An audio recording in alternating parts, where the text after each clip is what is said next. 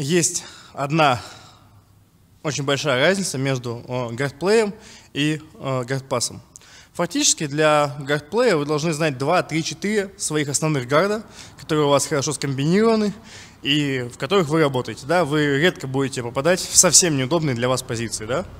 Вам не нужно знать все гарды на свете и все свипы всех гардов. Это работает не так. А вот с гардпассом, с проходами гарда, ситуация ровно противоположная.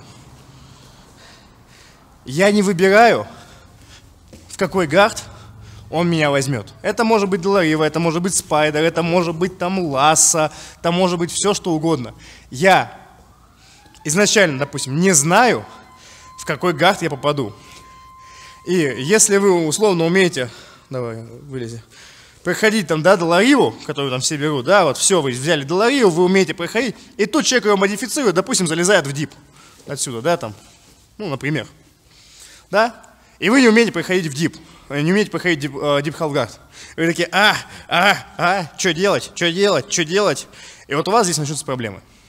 А, для того, чтобы успешно выступать, вы должны постоянно выполнять свой багаж знаний проходами разных гардов, да, как минимум вы должны иметь в голове один-два способа прохода вообще любого гарда, который вам встретится. Потому что вы не знаете, что он попадется. Как бы я вот смотрю на него вот в эту вот позу и не знаю, что он сейчас сделает. Да? Дальше. Мне очень нравится сравнение, э, как бы, когда я говорю про тайминги, про своевременное действие в борьбе, мне очень нравится сравнение с изнасилованием, да? Ну, представим, что вот вам хотят засунуть член в задницу и защищаться от изнасилования, когда вам его уже в задницу засунули, ну это немножко поздно, да, вам уже член в задницу засунули. Вы должны начать защищаться раньше, чтобы этого не допустить. А, то же самое с а, проходами гардов. Какая основная ошибка? Да? Большой план. Часто люди такие, заходят просто в гард прямым шагом, так вам берут гард какой-то, все там, ну, давай нормальный какой-нибудь, не вот это. Нормальный гард. Давай деловую какой-нибудь бери, чтобы этот, не пенсионерское свое. Вы зашли, он взял на вас захват, и все вы такие, ну все, сейчас я начну проходить. А он вас начинает уже вывешивать, да, начинает болтать, вам уже очень-очень тяжело. И забирай Хелгард, да. А, вы должны максимально подготовиться к тому, чтобы не дать ему возможностей, да.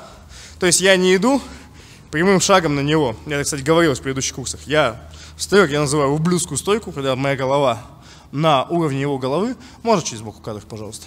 Да не ты, ты сиди здесь. Отлично, спасибо. Да, я начинаю подходить к нему, я начинаю сразу же забирать захваты, которые мне нужны. То есть я беру захват здесь, я его толкаю, да, чтобы невозможно проходить. Либо он будет брать долариву, пытаться, например, у меня здесь, да, локоть с коленом, который блокирует ему эту возможность, не дает, да. Пум, я буду отрезать ему эту возможность. Буду в дальнейшем сразу же. Вот я блокировал локтем колено. Дальше у меня рука переходит на контроль таза. Я раскрываю. Иду сюда. Постоянно, постоянно. Да. Набирая контроль. То есть я не хочу прийти в удобную для него позицию. Я хочу создавать для него максимально неудобные условия, чтобы облегчить свою работу. Да, то же самое, давай повернемся. На примере с заправлением ласса, мне это очень понравилось самому. То есть вот, люди берут здесь, он начинает заправлять ласса, вы ничего не делаете, все, вы уже в плохой позиции. Ну, давай обратно. То есть вот я здесь, он хочет заправить ласса. Вот, я вставил локоть, раскрыл его ногу, могу перескочить там, если я там прыгучий. То есть я своевременно среагировал на его действия э, и получил э, более хорошую позицию, которую могу реализовать, получил преимущество. Дальше. Следующая вещь, которая очень важна в проходах гарда, это создание постоянного давления. Я это приведу на примере халфгарда. Давай, с нишилдом. То есть коленочка вставь. Часто люди думают, что создать давление – а это просто лечь значит, на человека, вот так вот просто лежать, и вот это вот. Я давлю. Это немножко не так, смотри, да, держу жесткую позицию, то есть, вот, я типа давлю. Это неправильно, что типа, вот. Смотрите, сейчас я не оказываю давления. Мои плечи выше моего таза. За счет чего мне оказывает, оказывает давление? Что у меня башка тяжелая, у меня микрофон на ней вот так вот клевать, нет? Я хочу создать давление. Я контролирую его.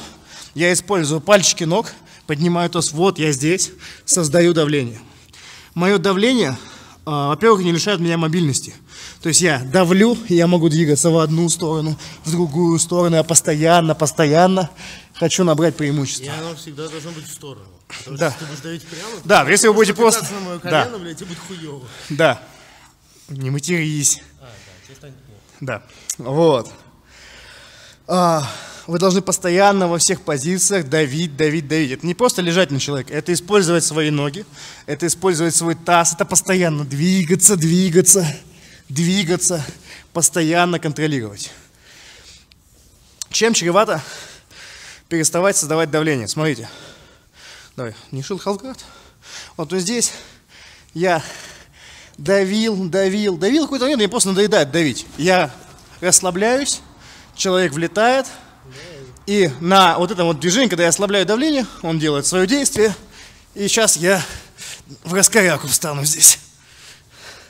Ну все, ну молодец, молодец, он Black Belt настоящий. Да не щекоти, говорит, я тебе еще пятку пощекочу. Он еще щекотки не боится. Да? А, то же самое с проходами. Ляг, пожалуйста.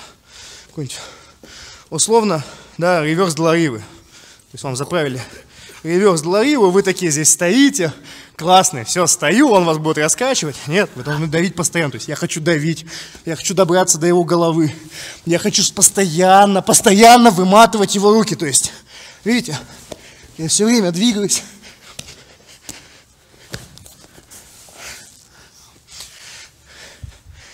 А, запас сил у человека не бесконечен. А, борясь с людьми, которые очень хорошо давят, да, разумеется, вставляю рамки, фреймы, еще возможности, но минута, две, три, через три минуты работы под давлением у меня начинают, допустим, отваливаться плечи, у меня начинают закисать мышцы, у меня становится меньше мобильности, становится очень-очень тяжело.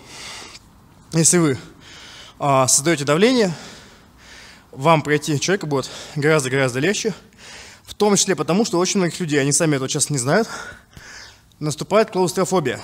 Условно, человек не боится оказаться в маленькой комнате в одиночку, да, там где тесно. Но, когда ему на лицо с весом наваливается какое-то тело, там еще потное кимоно прилипает, воздуха мало, места мало, у многих людей случается такая небольшая паническая атака, и они отпускают гард. Да, я много раз с этим сталкивался. Вот нормальный человек, как только ты его поджал, ограничил воздух, он прям начинает резко двигаться, как-то хаотично э, теряет немножко контроль, и это дает вам возможность пройти гард и получить одну из самых высоких оценок в джиу-джитсу 3 балла. Потому что, что такое 3 балла? 3 балла это очень тяжело отыграть. То есть даже если вы после прохода восстанавливаете, делаете свип, вы все равно проигрываете 1 балл. Да? Это на самом деле очень серьезная оценка, вот эти 3 балла. И за них нужно сражаться. Теперь о сражении. Напишите головой туда.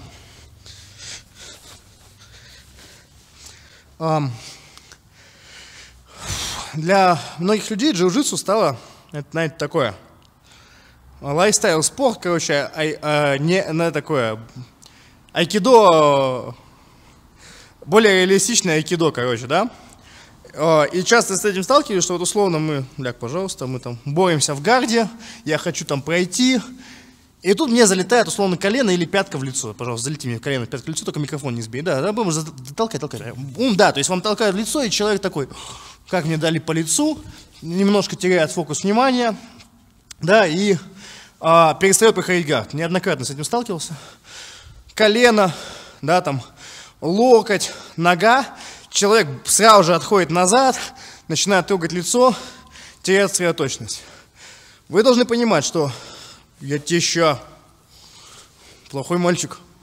А, вы должны понимать, что голова, плечи, локти, кисти, колени – это все мои инструменты для прохода гарда, для создания пространства, для поиска возможностей. О чем я говорю, да? Давай чуть поближе сюда. На примере, допустим, ласса гарда, да? Я здесь, ты заправляешь ласса, я захожу, головой заныриваю, да, под ногу. Ты снова закидываешь, снова выдавливаю, головой захожу. Да, ищу возможности в одну, в другую сторону. Дальше еще пример работы головой. А, смотрите, вот у меня позиция. Я хочу ее положить на спину, толкать ее буду долго. Я могу использовать свою голову. Я буду использовать как бы лоб, но на лбу сейчас микрофон, поэтому вот так вот. Я оказываю давление, делаю ему больно, да, тем самым а, получая над ним преимущество, проходя гард. Вы не должны бояться пожертвовать как бы своей красотой лица. Видели бы вы сейчас нашего оператора. Вот. А, при проходе. Ну, дадут вам по лицу, как бы, случайно ножкой. Представляете, есть виды спорта, где по лицу ногами бьют, например, в ММА, да, или руками в боксе. Туда же люди ходят, это вот регулярно по лицу получают, и ничего с ними не происходит. Поэтому не бойтесь получать а, ногами по лицу в джиу-джитсу. Едем дальше. Давай тоже чуть ближе сюда. Теперь немножко разовьем тему о том, при помощи чего мы проходим гард. Ляг, пожалуйста, ножки подними. Часто у людей для прохода гарда используется дай бог нога и дай бог ладошка. То есть человек берет вот так вот. И вот он поскакал куда-то, ну где-то, может, дай бог, коленкой наступил, вот так вот держит. Какое-то минимальное э, использование своего тела. Смотрите, ребят, что я могу использовать? У меня есть кисть, локти, плечи. У меня есть вот эта вот жесткая зона давления, это ключицы, солнечное сплетение, да, где мало мяса торчат кости, голова. А это все то же самое с другой стороны. Это мой таз, это мое колено, это моя стопа. Все эти инструменты я использую при проходе гард. Например, да, я взял, вот у меня держит за рукава, я взял за штаны, чтобы не дать ему возможность закидывать ногу, смотрите, что я делал. Видите, я вставляю локти. Вот у меня локоть внутри, чтобы он не мог вернуть свою ногу. Будет вот так вот рука, легко возвращает. Я использую свой локоть, я использую свою ногу, чтобы дать давление, поджимаю. Вот я здесь. Я использовал разные инструменты.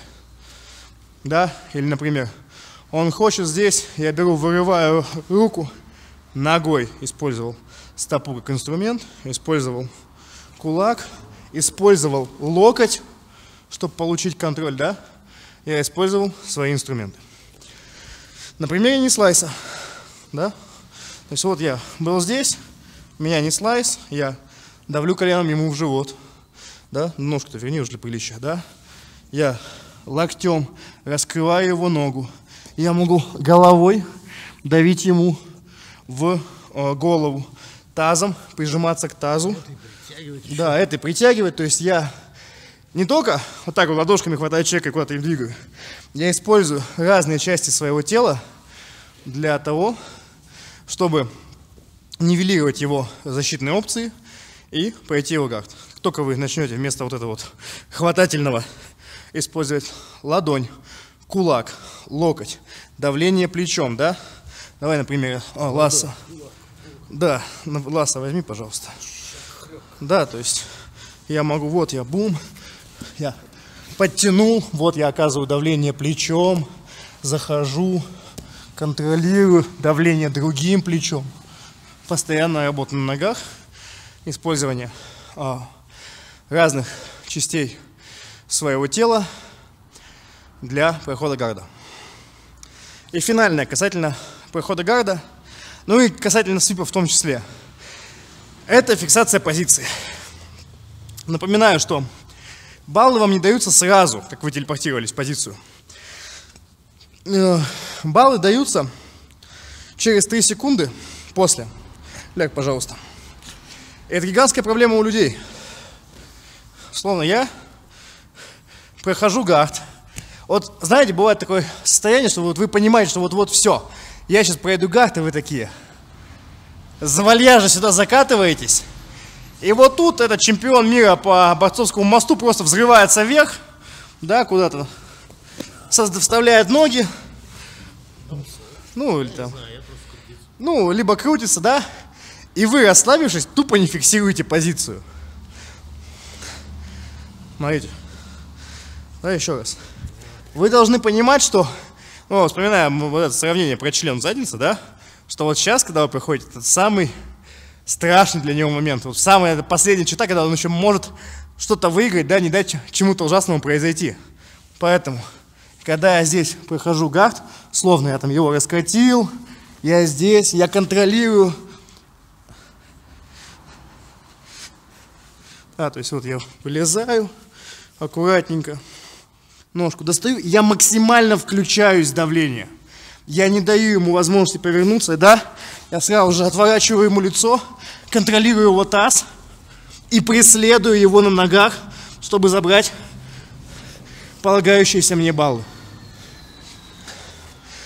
А, то же самое происходит со свипами. Давай, лежи, лежи, лежи, меня свипанешь. Любым свипом. Сейчас, смотрите, человек меня свипует. Давай, свипуй меня. Да. Бум! Он не среагировал первый. Я встал. И он не смог забрать баллы. Просто потому что в своем движении он не подготовил себя, да? Э, а не дал себе запала доработать. То есть, окей, давай из Халгарда. А, чтобы такого не было.